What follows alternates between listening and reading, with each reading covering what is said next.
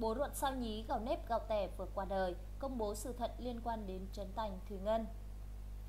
Thông tin diễn viên trẻ Bảo Bảo ra đi đột ngột vì đuối nước trong chuyến đi chơi với bạn bè trở thành tâm điểm chú ý của dư luận những ngày qua.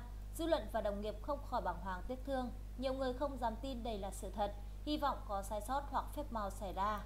Sáng ngày 28 tháng 2, Bảo Bảo được gia đình đón về, tổ chức tang lễ tại nhà riêng ở thành phố Hồ Chí Minh. Một số người thân thiết, đồng nghiệp đã đến nói lời chào với nam diễn viên. Trong không khí tang thương, xen lẫn tiếng khóc than từ gia đình Bảo Bảo, ai nấy đều khó kìm được nước mắt. Được biết, gia đình sẽ đưa Bảo Bảo đi hỏa táng ở Nghĩa Trạc Đà Phước, huyện Bình Chánh, sau đó tiến hành chôn cất. Sau khi lo liệu xong một phần công việc cho con trai, bố của Bảo Bảo đã có chia sẻ đầu tiên. Trên trang cá nhân, ông gửi lời cảm ơn đến mọi người, đồng thời xin lỗi vì thời gian qua tăng gia bối rối không thể trả lời hết tin nhắn hỏi thăm. Bố Bảo Bảo thừa nhận tâm trạng mình rối bời khi nhận tin giữ con trai.